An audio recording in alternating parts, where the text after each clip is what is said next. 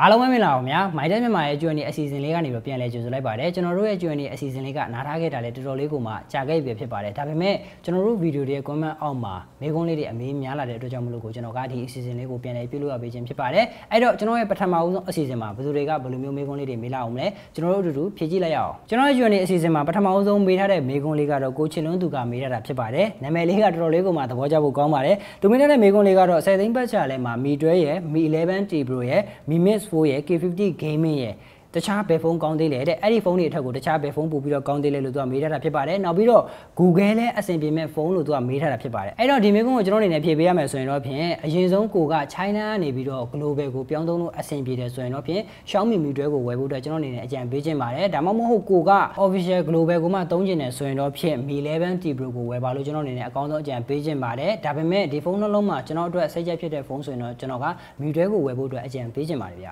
နောက်ထပ်မေးခွန်းတစ်ခုအနေနဲ့ကတော့ကိုမြတ်မင်းကမေးထားတာဖြစ်ပါတယ်။သူမေးထားတာကတော့ Note 11 4G နဲ့ Note 11 5G ဘယ်ဖုန်းကိုဝယ်တင်လဲတဲ့ PUBG နဲ့ Mobile Legends အနည်းငယ်ဆော့ပါတယ်တဲ့။ဟုတ်ကဲ့ပါကိုကြီးဒီဖုန်းနှလုံးမှာဆိုရင်တော့ပြကျွန်တော်က Redmi Note 11 5G လေးကိုဝယ်ပါလို့ကျွန်တော်အနေနဲ့အကြံပေးခြင်းနဲ့ဘာကြောင့်လဲဆိုတော့ 4G တဲ့စာလို့ရရှင်ဒီကောင်ကကင်မရာပိုင်း battery ပိုင်းနဲ့ SoC ပိုင်းတွေမှာပို့ပြီးတော့အားကောင်းတယ်အခုတော့လည်းပို့ပြီးတော့အဆင်ပြေလိမ့်မယ်။နောက်ပြီးတော့ဒီကောင်က 5G ဖြစ်တာအကြောင်းမို့လို့ကျွန်တော်ကပို့ပြီးတော့ရွေးချယ်ပေးရခြင်းဖြစ်ပါတယ်။ဘာကြောင့်လဲဆိုတော့ကျွန်တော်တို့မြန်မာနိုင်ငံမှာနောက်မကြခင်များပေါ့နော် 5G ကွန်ရက်များရခဲ့မယ်ဆိုလို့ရရှင်အခုအနေနဲ့နောက်ထပ်ဖုန်းတစ်လုံးထပ်ပြီးတော့လဲစရာမလိုဘူးဒီဖုန်းကိုအသုံးပြုပြီးတော့ 5G ကွန်ရက်စနစ်မှာထပ်ပြီးတော့သုံးလို့ရမှာဖြစ်ပါတယ်အဲ့ဒီအတွက်ကြောင့်မို့လို့ကိုအခုအနေနဲ့က Redmi Note 11 5G လေးကိုဝယ်ပါလို့ကျွန်တော်ပြောချင်ပါတယ်ဗျ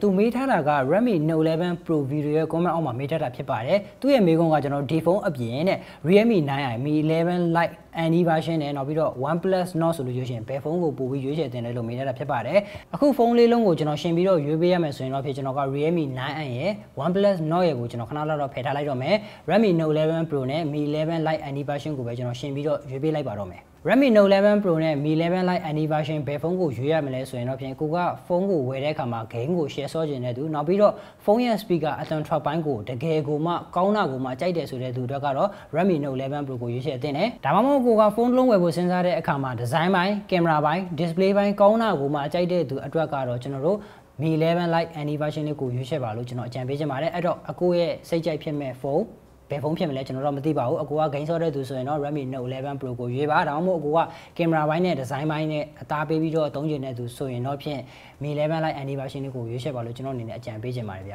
နောက်ထပ်မေးခွန်းတစ်ခုအနေနဲ့ကတော့ကိုမောင်မောင်မေးထားတာဖြစ်ပါတယ်သူမေးထားတာကတော့ Realme 9i က gaming အတွက်အဆင်ပြေလားအကိုတဲ့ gaming test လေးလည်းလုပ်ပေးပါလို့ကျွန်တော်ပြောထားပါတယ် Realme 9i အတွက် gaming test ကတော့ကျွန်တော်တီးတန်းတော့ကျွန်တော်လုပ်ပေးဖြစ်မယ်လို့ကျွန်တော်မထင်ပါဘူး Realme 9i က game ဆော့ဖို့အတွက်အဆင်ပြေလားဆိုရင်တော့ဖြင့် သူကလည်းသူတော့ဆော့လို့အဆင်ပြေတယ်ဒါပေမဲ့ performance ကိုတော့ကျွန်တော်တို့အကောင်းဆုံးကိုတော့မမျှော်လင့်ထားစေချင်ဘူးအခုအနေနဲ့ကကျွန်တော်တို့ mobile legend လောက် game ကိုဆော့တယ်ဆိုရင်တော့ဖြင့် Realme 9i ကိုဝယ်ဖို့အတွက်ကျွန်တော်အကြံပေးခြင်းတယ်ဘာကြောင့်လဲဆိုတော့ mobile legend လောက်ကိုတော့ကျွန်တော် Realme 9i က ACC နဲ့ဆော့လို့ရပါတယ် တကယ်လို့များအကူက game ဆော့တဲ့အခါမှာ mobile legend တစ်မျိုးတည်းကိုဆော့တာမဟုတ်ဘဲနဲ့ game ပေါင်းစုံကိုဆော့တဲ့သူတယောက်ဆိုရင်တော့ဖြင့်ကျွန်တော်က Realme 9ရဲ့အစားကိုအဲဂျင်တို့အဲဈေးတန်းမှာတခြားသောရွေးချယ်စရာဖုန်းဖြစ်ရှိနေသေးတယ် Redmi Note 11 5G လေးကိုရေးပါလို့ကျွန်တော်အနေနဲ့အကောင်းဆုံးအကြံပေးချင်ပါတယ်ဗျ ကျွန်တော်ရဲ့ကျွမ်းနေအစီအစဉ်လေးမှာနောက်ဆုံးမေးခွန်းတစ်ခုအနေနဲ့မေးထားတာကတော့ကိုမျိုးမြင့်ကမေးထားတာဖြစ်ပါတယ်ဘရိုရေးတဲ့အခုချိန်မှာ Redmi Note 9 Pro ကိုဝယ်သင့်သေးလားတဲ့ဒီမေးခွန်းကိုကျွန်တော်အနေနဲ့ဖြေပေးရမယ်ဆိုရင်တော့ဖြင့်အခုချိန်မှာ Note 9 Pro ရဲ့အသစ်ဈေးနှုန်းကဘယ်လောက်ရှိလဲဆိုတာကိုတော့ကျွန်တော်မသိသေးဘူး